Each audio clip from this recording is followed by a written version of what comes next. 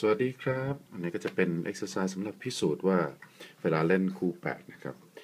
point of contact ของของหัวแม่มือเนี่ยจะอยู่หน้าของนิ้วก้อยนะครับว่าอย่างกรณีอย่างนี้นะครับ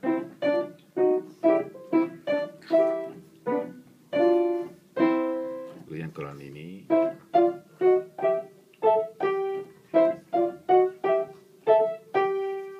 นะครับ ลองเช็คดูนะครับอย่างนี้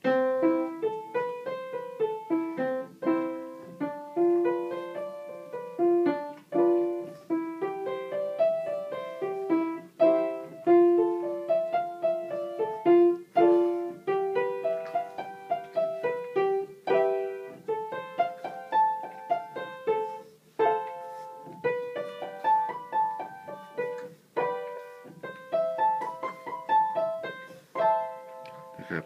เขาเขายืนอย่างเงี้ยครับเป็น butterfly hand position นะครับ มันจะทำให้สามารถเล่นได้ง่ายตัวอย่างกรณีนี้